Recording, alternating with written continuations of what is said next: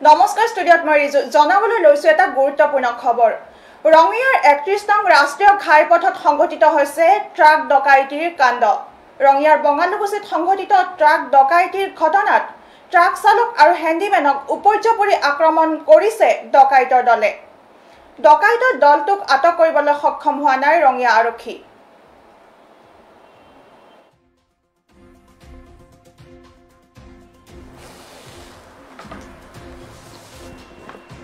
অপৰাধীৰ ৰম্যভূমিত পৰিণত হৈছে ৰঙিয়াৰ একত্ৰিছ নং ৰাষ্ট্ৰীয় ঘাইপথ।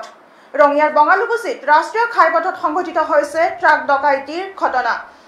এই ঘটনাত উপৰ্যপৰি আক্ৰমণ কৰিছে ট্ৰাক চালক আৰু হেণ্ডিমেনক। চাৰিজনীয়া ডকাইতৰ দলে ট্ৰাকৰ পৰা লুটি নিলে বৃহৎ পৰিমাণৰ ধন। ৰাষ্ট্ৰীয় ঘাইপথত ট্ৰাকৰ চকা বিস্ফোৰণ ঘটাই সংঘটিত কৰিলে এই ডকাইতি কাণ্ড। টকা দিবলৈ অমান্তি হোৱাত চালক আৰু হেণ্ডিমেনক আক্ৰমণ চাৰিজনীয়া অস্ত্ৰধাৰী ডকাইতৰ দলৰ। ফলত গুৰুতৰভাৱে আহত হৈছে ট্ৰাকখনৰ চালক দীপক দাস। জাগিৰোডৰ পৰা N L zero' one K two eight seven four নম্বৰৰ চিমেণ্ট ভৰ্তি ট্ৰাকখন কলকাতালৈ গৈ থকা অৱস্থাত সংঘটিত হৈছে এই ডকাইতি কাণ্ড। পিছত ৰঙিয়া আৰক্ষীয়ে আহত চালকজনক ৰঙিয়া মহকুমা অসামৰিক চিকিৎসালয়ত ভৰ্তি কৰাই বুলি জানিব পৰা গৈছে। উল্লেখযোগ্য যে ৰঙিয়াৰ একত্ৰিছ নং ৰাষ্ট্ৰীয় ঘাইপথত নিশাৰ ভাগত প্ৰায়ে সংঘটিত হৈ আহিছে ট্ৰাক ডকাইতিৰ ঘটনা। তাৰ পাছতো ৰঙিয়া আৰক্ষীয়ে ডকাইতৰ দলটোক আটক কৰিবলৈ সক্ষম হোৱা নাই।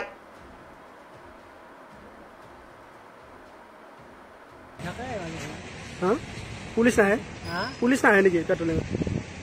পুলিচেতো ক'তা পুলিচ নাহে এতিয়া আগতে কেইদিনমান নাই? সদায় হয় নে কেতিয়াবা? হয় কেতিয়াবা। মানুহবিলাক মাৰ মাৰ ধৰ কৰে মাৰ ধৰ কৰে ৰাতিপুৱা। হৈ থাকে। হা? পুলিচ নাহে? পুলিচ নাহে নেকি পেট্ৰলিঙত পুলিচেতো ক'তা পুলিচ নাহে এতিয়া আগতে কেইদিনমান নাই? সদায় হয় নে কেতিয়াবা? হয় কেতিয়াবা। মানুহবিলাক মাৰ মাৰ ধৰ কৰে। এই খবৰটোৰ সৈতে মই ৰিজু ষ্টুডিঅ'ৰ পৰা বিদায় লৈছোঁ। পৰৱৰ্তী বা বাতৰিৰ বাবে চাই থাকিব পি আই নিউজ ৰাইজৰ দ্বাৰা ৰাইজৰ বাবে। ধন্যবাদ।